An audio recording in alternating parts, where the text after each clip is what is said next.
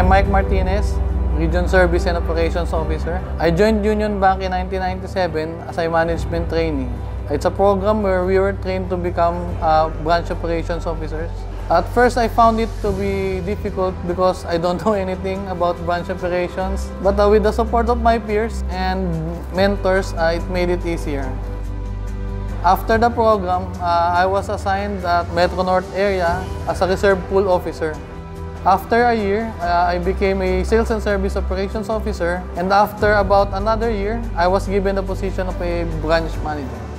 In 2002, I transferred to head office. Uh, there I became a member of the Pinnacle Migration Team.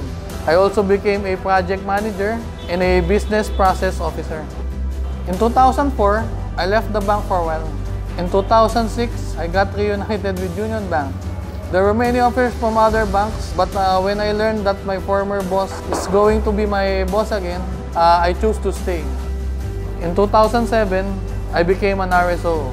As a new RSO, I was challenged because I need to manage 15 branches with a total of about 75 employees. I was assigned to various regions. My first assignment was Quezon City, then Metro North, Metro Central, and the farthest, uh, Luzon North, which covers the province of Bulacan up to Tugigaraw. But again, with the help of my boss, my fellow RSOs, and my body RSO, Lali, helped me get through.